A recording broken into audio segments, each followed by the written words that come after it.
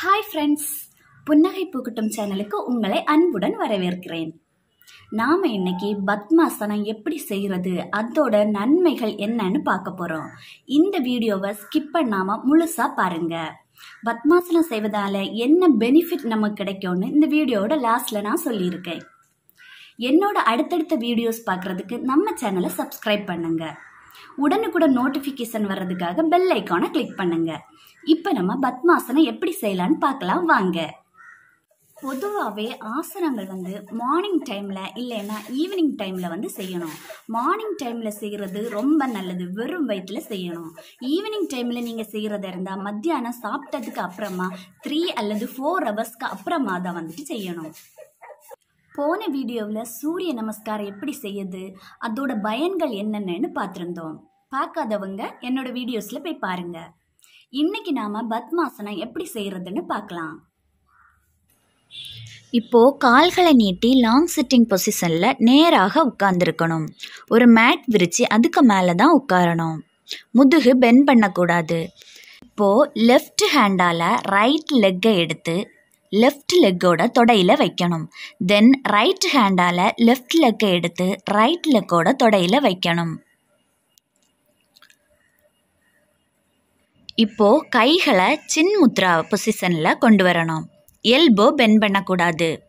முதுகு ஸ்ட்ரைட்டாக இருக்கணும். முதுகு பென் பண்ணவே கூடாது. கண்கள் மூடிய நிலையில் இருக்கணும். ஆழமாக சுவாசத்தை வெளியே விட்டு உள்ளாடி எடுக்கணும்.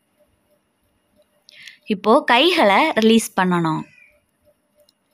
தென் கண்ணை.